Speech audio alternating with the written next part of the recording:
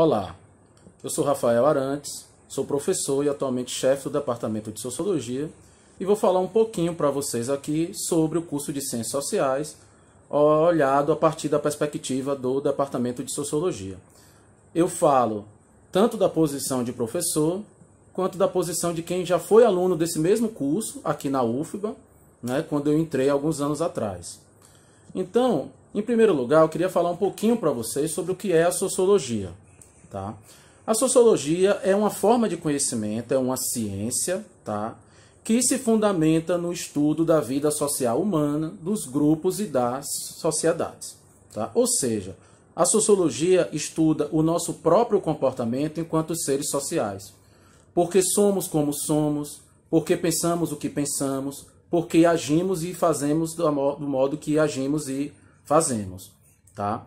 E a sociologia, ela estuda o nosso comportamento enquanto seres sociais a partir de uma perspectiva que um autor norte-americano chamado Charles Wright Mills chamou de imaginação sociológica, que é olhar os comportamentos humanos a partir de uma perspectiva mais ampla, cultivando a imaginação, buscando adquirir um conhecimento crítico e amplo, é, para além das nossas rotinas, para além de algo rotineiro. Ou seja, tentando fazer com que a gente se livre das nossas circunstâncias pessoais e coloque as coisas no contexto mais amplo.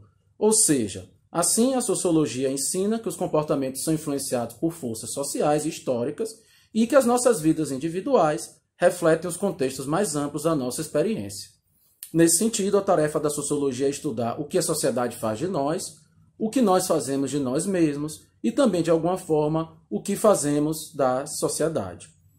A sociologia enquanto ciência surgiu no século XIX na Europa. Ela foi se ampliando, ou melhor, ela foi é, surgindo também em outros lugares, nos Estados Unidos, na América Latina, na África e na Ásia. É uma ciência que está difundida por todo mundo. Tá? É, e por conta disso também a gente pode dizer que a sociologia é hoje uma ciência múltipla, uma ciência diversa e plural ela se fundamenta em várias perspectivas teóricas, em várias perspectivas metodológicas, reflete sobre variados objetos de pesquisa, desde fenômenos muito micro, muito pontuais, como as relações cotidianas, os encontros face a face, até relações mais amplas e globais, como a globalização, as transformações do capitalismo, as transformações do mundo do trabalho. Tá? Então, na verdade, a gente deveria falar de sociologias no plural e não sociologia no singular. Tá?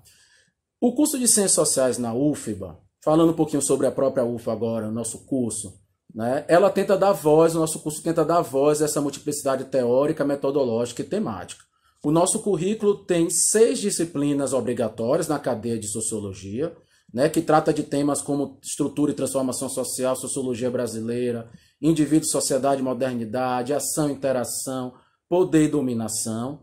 Tá? O nosso curso conta também com um conjunto de disciplinas didáticas e de práticas pedagógicas, especialmente para aqueles que vão fazer a licenciatura, isto é, vão se especializar no ensino básico, no ensino de sociologia nos cursos básicos, tá? e também dispõe de um conjunto de disciplinas sobre práticas e métodos de pesquisa, especialmente para aqueles que vão para o chamado bacharelado. Tá?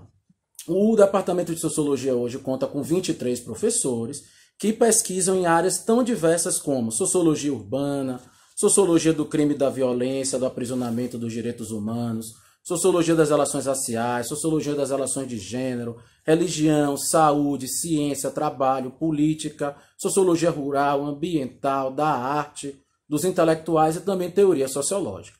E os nossos colegas, os nossos professores, atuam em diversos centros e grupos de pesquisa né, sobre saúde, sobre a questão rural, CRH, que é o Centro de Estudos em Pesquisa em Humanidades, Laboratório de Estudos sobre Crime e Sociedade.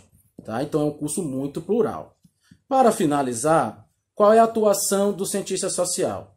O cientista social pode atuar em três grandes áreas: na docência, isto é, no ensino de nível médio e de nível superior, Tá? Em pesquisa acadêmica e técnica, o nosso curso forma muitos pesquisadores que podem trabalhar em universidades, centros de pesquisas, mas também em ONGs, fundações, movimentos sociais, sindicatos e consultorias, e também em assessoria técnica de ONGs, sindicatos, elaboração de políticas públicas, planos diretores, entre outros.